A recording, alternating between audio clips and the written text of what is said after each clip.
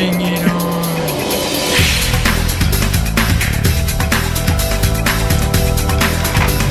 Oh hi! This is my area where I uh, I edit the pages of the magazine and do other interesting things. All right, this is uh, Dan's area. Dan keeps it very, very sloppy, apparently. Hi, welcome to my desk. This is where the magic happens. And I mean the magic really happens.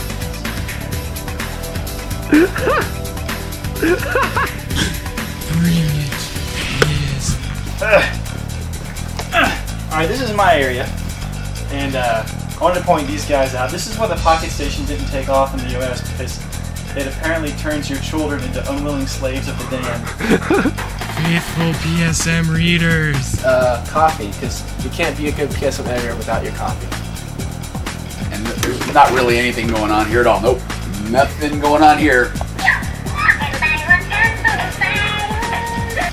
Secret about Gary is Gary doesn't actually work here. The funny thing is, even though he doesn't really work here, he does like 95% of all the work.